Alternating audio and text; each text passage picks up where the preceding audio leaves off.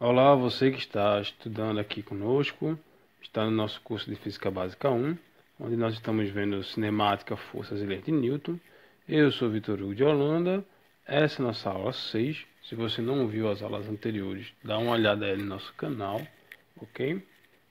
Nessa aula nós vamos fazer uma introdução ao conceito de forças e falar sobre as quatro forças fundamentais, ou seja, nós vamos entrar no entrar em dinâmica. Por isso é importante você ver as aulas anteriores, quando nós falamos sobre cinemática.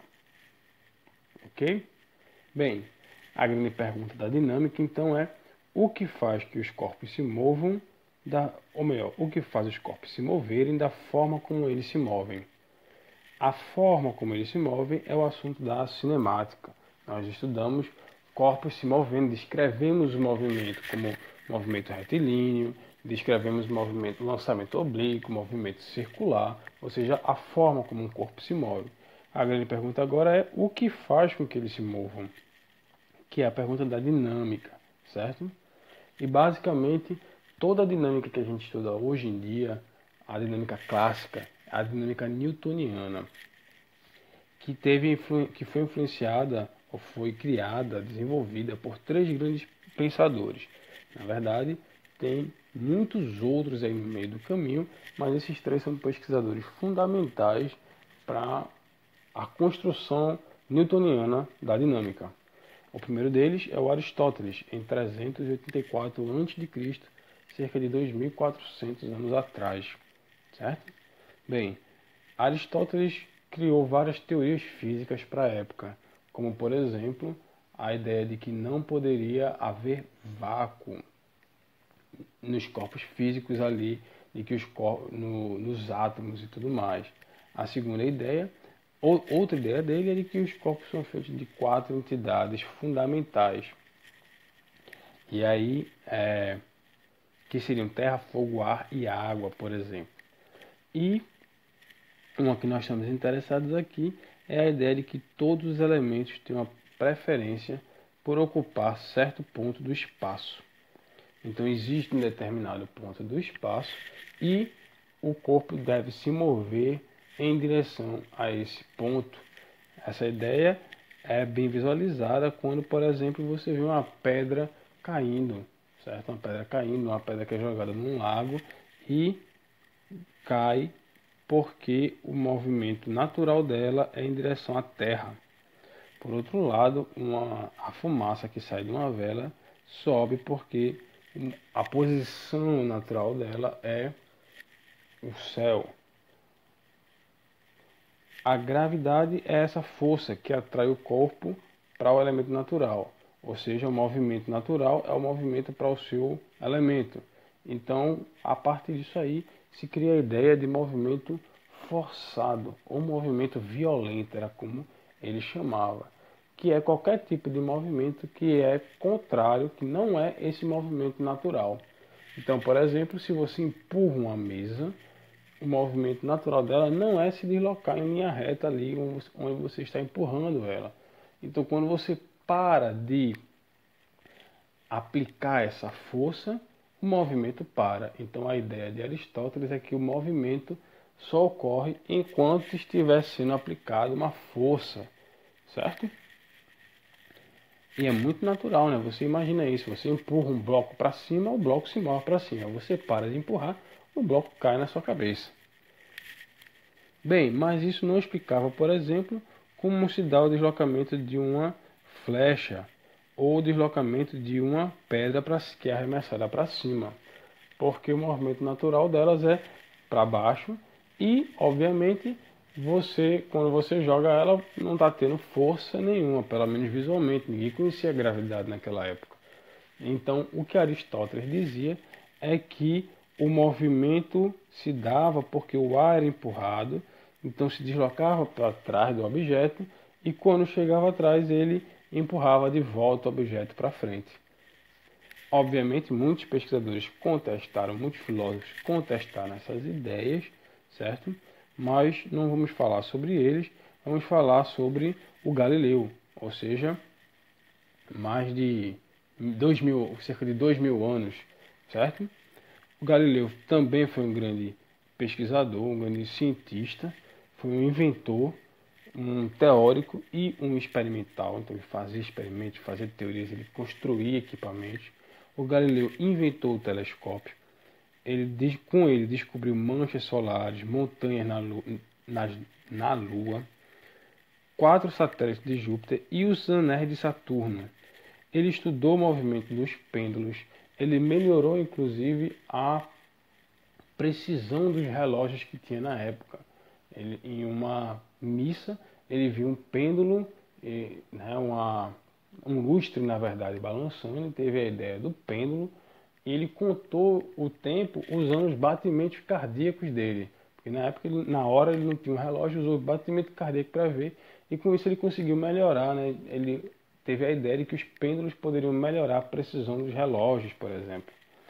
Bem, ele contribuiu para o desenvolvimento do método científico, aquela, aquela grande e poderosa arma que nós discutimos da ciência, certo? E ele teve uma ideia, ele construiu as ideias de referencial inicial e começou com o estudo do movimento acelerado, que é que nós vamos discutir agora, essa figurinha que nós, esquemática que nós temos aqui, que é uma ideia de Galileu. Imagine que você tem uma esfera perfeitamente polida, completamente lisa. E temos também um, um plano completamente liso também, completamente polido. O que acontece então, se eu deixar minha bolinha parada aqui, ela fica parada. Certo? Vai ficar parada para sempre enquanto sempre existir. Agora, se você empurrar essa bolinha e deixar ela andando, se esse plano for infinito, ela vai ficar andando infinitamente com a mesma velocidade. O que é necessário para que haja uma mudança na velocidade?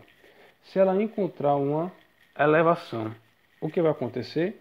Ela vai ter que subir, vai parar e vai voltar, ou seja, a velocidade dela diminui quando ela encontra essa elevação.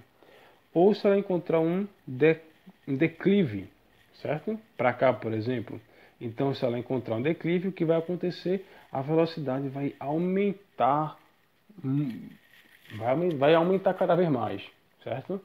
Então, se não houver elevações ou declives, a bola deve permanecer parada ou em movimento retilíneo uniforme, né? Isso apesar de que não foi ele que construiu, não foi ele que colocou esse termo, né? Mas movimento retilíneo uniforme, certo? Então, se você já ouviu falar, já estudou alguma vez a lei de Newton, você sabe que esse é o princípio da inércia, basicamente é o princípio da inércia.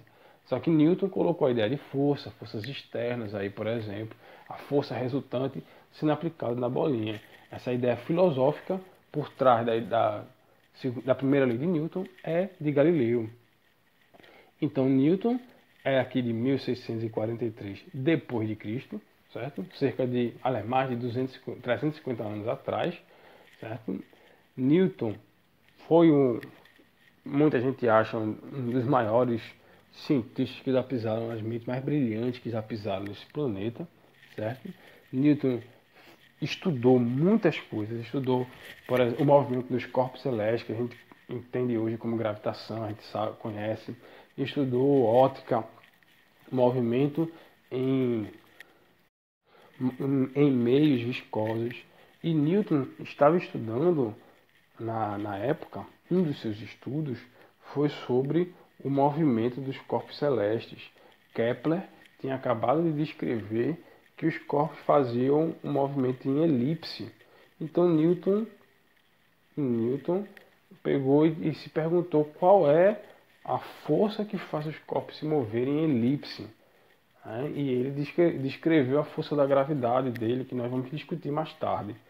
E ele foi o pioneiro em perceber que essa é a mesma força que faz os corpos se atraírem aqui, uma maçãzinha cair aqui. Você conhece a ideia clássica de que da maçã que caiu na cabeça dele e fez ele ter essa ideia brilhante. Tanto é que hoje em dia forças são medidas em newtons. Tá aqui, ó, um newton no SI é um metro por segundo ao quadrado, ok? Forças são quantidades vetoriais Aqui está uma representação de uma força num plano XY, um vetorzinho, uma seta. Então eles têm módulo, direção e sentido. E cada uma dessas propriedades, dessas três, depende do tipo de interação. Né? Uma força é uma interação entre dois corpos ou entre dois sistemas. Nós temos corpos em movimento, por exemplo, que é a força centrípeta e a força magnética. Ou, por exemplo, corpos interagindo à distância, força eletrostática e força gravitacional, ou ainda força de reação, força normal e força de tração. E todas essas forças são uma dessas quatro forças aqui, as forças fundamentais, ou são a manifestação de alguma delas, certo? Ou são exatamente elas, ou algum tipo de manifestação delas. Vamos dar uma olhada nessas quatro. A primeira é a força gravitacional, que é um conceito aristotélico e foi reformulado por Newton, como nós vimos. Einstein, com sua teoria da relatividade, faz correções na formulação newtoniana. Mais uma pergunta que existe ainda hoje em dia é se existe uma teoria quântica ou como construir uma teoria quântica da gravitação. Ela é a mais fraca de todas as quatro forças fundamentais e ela é mediada pelos grávitos. Hoje em dia a gente diz que as forças são mediadas por partículas. Então os grávitos são as forças que levam a essa interação. E um grande desafio hoje em dia da física e da engenharia é conseguir medir esse grávito que a gente não consegue ainda hoje. A próxima força fundamental é a força nuclear fraca, que tem natureza quântica e explica decaimentos radioativos. Aqui está, por exemplo, o decaimento de um próton e um nêutron. O próton é uma partícula formada por quatro quarks, dois ups e um down, e aí um up quebra e vira um down. Ou seja, o próton acaba virando um nêutron. Pode ver aqui, aqui é o nêutron, eles são iguais. Quando isso acontece, aparece um elétron e um neutrino, certo? Da mesma forma, o nêutron pode, pode também se transformar num próton, gerando um pósitron e outro neutrino, certo? Já a força eletrofraca é uma unificação dessa força com a força eletromagnética, que nós vamos ver já já. Essa força aqui ela é mediada pelas partículas W+, W- e Z.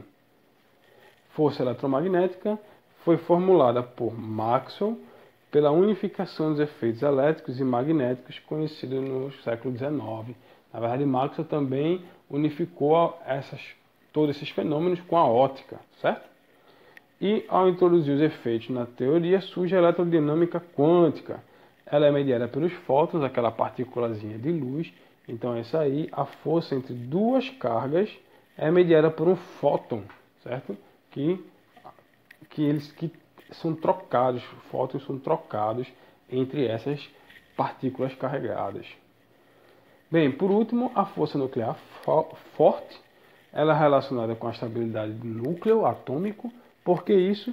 Porque prótons são partículas carregadas. Elas têm, ele tem o mesmo sinal, então eles se repelem. O nêutron não tem carga, então não se repele com nada, mas o próton sim. Então, para que mantenha o núcleo coeso para que os prótons não se afastem infinitamente, existe uma força entre eles que é a força nuclear forte.